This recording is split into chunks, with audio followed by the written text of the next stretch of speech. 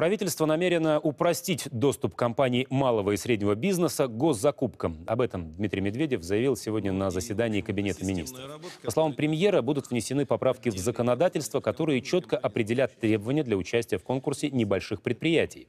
Сейчас, как отметил глава правительства, бывают случаи, когда заказчик злоупотребляет своим правом диктовать условия подачи и оформления необходимых документов.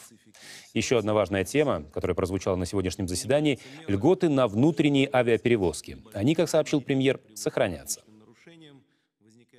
Мы продлеваем на три года льготный режим налогообложения для внутрироссийских маршрутов.